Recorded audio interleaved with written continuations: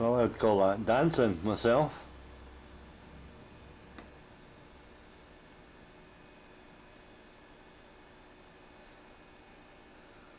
Much more funny when you see them springing to full size.